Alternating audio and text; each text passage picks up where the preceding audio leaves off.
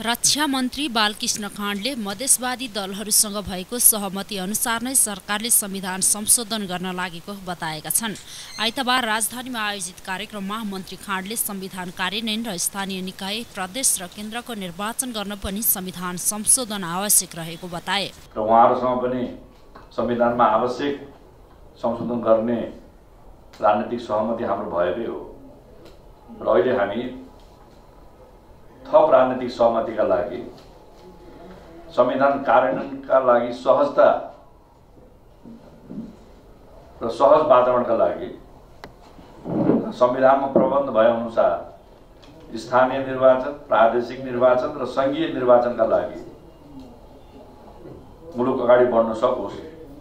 त्यसका लागि पनि हामीले संविधानमा आवश्यक परिमार्जन र संशोधन गर्ने विचार अगाडि बढाएको हो। अहिले देश चुनौतीपूर्ण अवस्थामा रहेकाले दलहरू मिली देशलाई निकास दिनुको विकल्प नभएको उनको भनाइ छ।